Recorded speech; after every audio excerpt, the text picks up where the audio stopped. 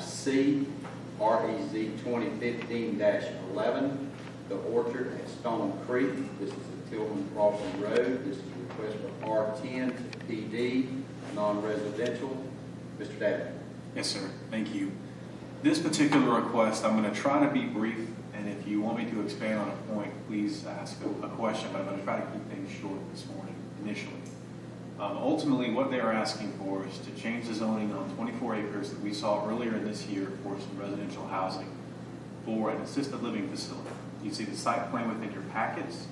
I tried to give you a definition of an assisted living facility before you and kind of a, a care scale that has helped me understand what is assisted living. And ultimately, assisted living is somewhere between independent living and really nursing home. A nursing home, what differentiates this, differentiates this from a nursing home is nursing home where you, where you kick in kind of 24-hour skilled nursing care. This is not that level of care. They don't want to be that level of care. So this is someone who might need just a little bit more attention with their medications, just making sure everything is okay. Um, I know one of the aspects they want to have at this facility is Alzheimer's memory care. So I want you to um, just kind of get a picture in your minds about what that is. With that, where it is, is the entire 24 acres that we actually had for this piece of property earlier, they want to take that entire acreage. So where there was a plan for 50-plus homes, um, they now want to rezone, rezone and actually just make it for assisted living.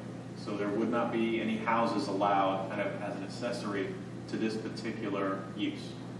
And so with that, I want that, I want you to have some kind of scale about what they're asking for. There's not some kind of combination, it's really one or the other uh, is the direction they're going.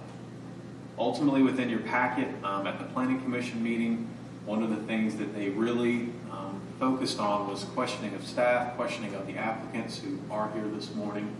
Um, really, that questioning probably, when I said healthy, it probably was about 30 to 45 minutes worth of questioning for both of us.